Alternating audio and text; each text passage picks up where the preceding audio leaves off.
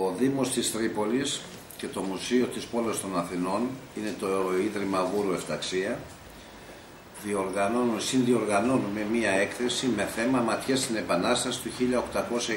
1821 μέσα από έργα του ζωγράφου Αλέκου Κοντόπουλου και φιλελληνικά ρολόγια τα οποία έχουν έρθει από τη Γαλλία. Η έκθεση θα ξεκινήσει και θα γενιαστεί την Τετάρτη μεθαύριο στις 24 Ιουνίου 2015 και ώρα στις 7 το απόγευμα και θα διαρκέσει έως τις 31 Αυγούστου του 2015. Η έκθεση αυτή ετάσσεται στις δράσεις προετοιμασίας των εορτασμών για τα 200 χρόνια της ε, Επανάστασης του 1821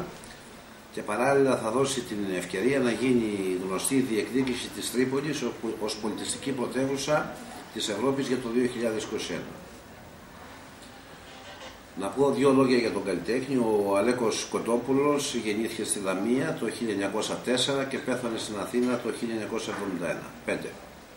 Σπούδασε στη Σχολή Καλών Τεχνών και μετέπειτα μετέβη στο Παρίσι όπου παρακολούθησε μαθήματα στη Σχολή Καλών Τεχνών στο Παρίσι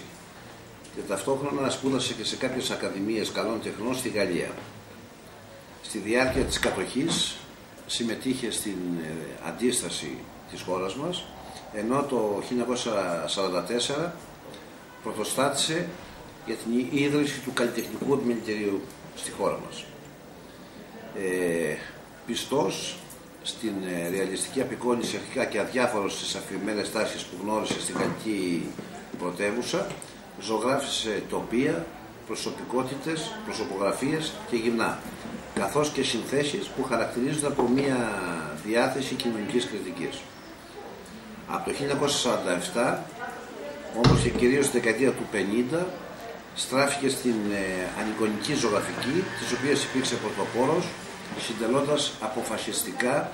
στην διάδοση της αφηρημένης τέχνης στην Ελλάδα ο Αλέκος Κοντόπουλος έκανε σειρά σχεδίων σπουδών πάνω στη ζωή και στη μορφή του Θόδωρου Κολοκοτρώνη. Όλο το λοιπόν το έργο, αυτό το οποίο θα έχουμε στην έκθεση, είναι πάνω από 50 πίνακες, αφορούν το Θόδωρο Κολοκοτρώνη. Αφορούν όλους εμάς. Ταυτόχρονα με την έκθεση ζωγραφικής θα εκτεθούν και φιλελληνικά ρολόγια τα οποία είναι επιτραπέζια ρολόγια που είχαν κατασκευαστεί κυρίως στη Γαλλία από το 1825 έως το 1870 με στόχο να βοηθηθεί τότε η χώρα μας στο αγώνας που έδιναν τότε ε, οι Έλληνες ενάντια στους ξένους τα οποία είχαν ως θεματικό διάκοσμο περιεχόμενο φιλελληνικά θέματα με, σκηνές, με σκηνές από την Ελληνική Επανάσταση του 1821. Αυτά τα ρολόγια είναι συλλεκτικά αντικείμενα και εκτίθεται σε διάφορες εκθέσεις. Ε, καλούμε λοιπόν όλους τους φίλους, όλους τους συνδημότες, όλους όσους μας ακούν την Τετάρτη, αυτή την Τετάρτη στις 7 το απόγευμα να είναι στην Αθήνα, είναι στην πλατεία Κλαθμόνος να πούμε ακριβώς που είναι το μουσείο της πόλης των Αθηνών. Ανοίξαμε μία συνεργασία με το μουσείο αυτό, όπου η έκθεση μετά τις 31 Αυγούστου, όπως είπα, που θα είναι ανοιχτή ε, θα έρθει στην Τρίπολη παραμονές της, ε, της άρρωσης της Τριπολιτσάς και θα είναι περίπου για ένα ενάμισο μήνα εδώ. Έτσι λοιπόν ε, αυτή η θεματολογία θα ολοκληρωθεί για το 2015 στην Αθήνα και στην Τρίπολη.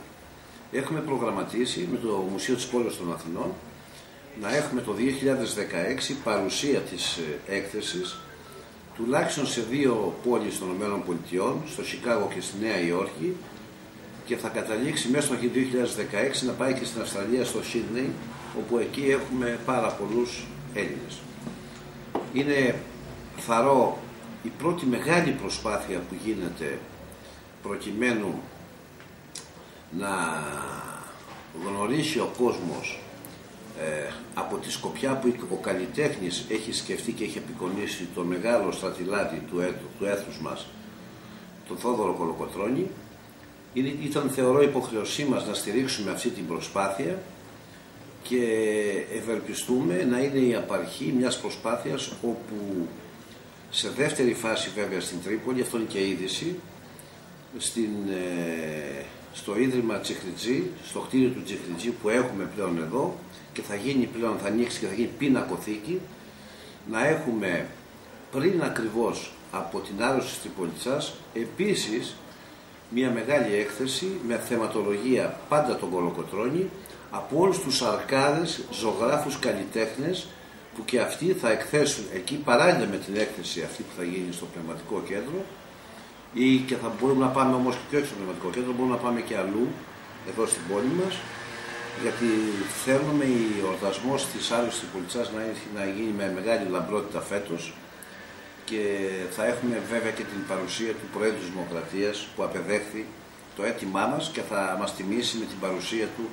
στην άρρωση της ε, Τριπολιτσάς. Έτσι λοιπόν, κλείνοντας, ε,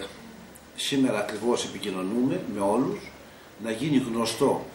γνωστή αυτή η μεγάλη έκθεση που είναι πολύ σημαντικό γεγονός για την πόλη μας παρότι θα ξεκινήσει από την Αθήνα